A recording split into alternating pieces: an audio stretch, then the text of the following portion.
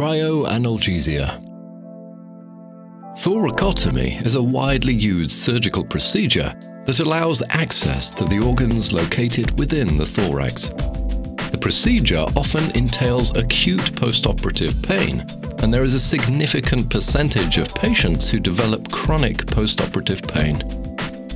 The pain following a thoracotomy procedure is one of the acutest pain sensations.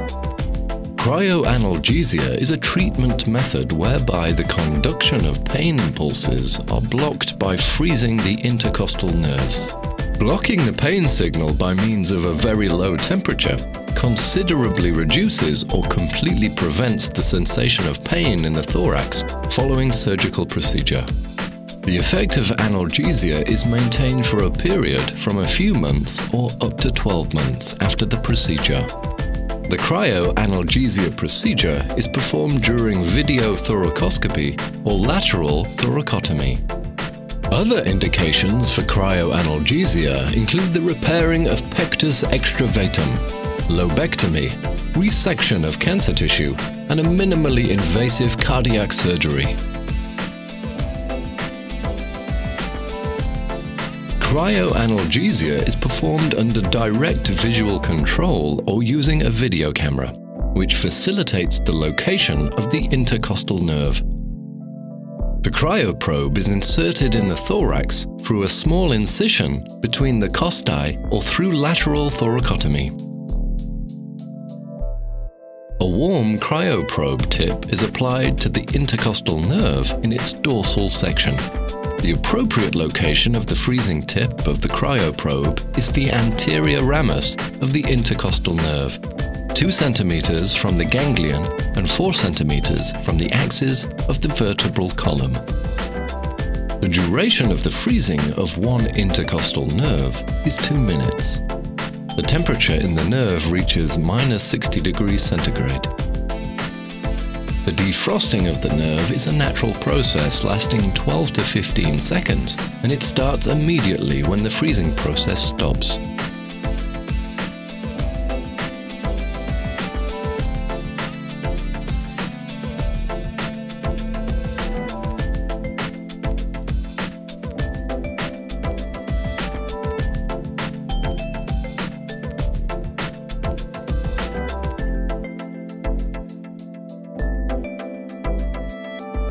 Cryoanalgesia causes the axon of the intercostal nerve to be damaged, while the remaining part of the nervous tissue remains intact. The preserved endoneurium and the myelin sheath, which was not damaged by the low temperature, makes it possible for the nerve to regenerate completely and for the sensory functions to be restored to the condition before the procedure.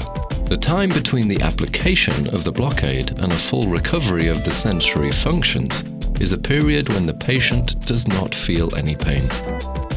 In the pectus excavatum repair surgery, cryoanalgesia is performed on both sides of the intercostal spaces from T4 to T10. In cardiothoracic surgery procedures, two levels of intercostal nerves are frozen over and two under the site of the thoracotomy.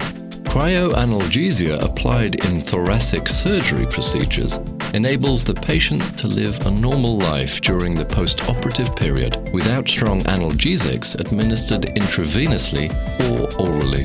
The effective pain management by means of cryoanalgesia will also shorten the patient's stay in hospital. The CryoS painless cryoanalgesia device is manufactured by the Polish company Metrum Cryoflex. The operating parameters of the device are recorded in the microchip of the cryoprobe.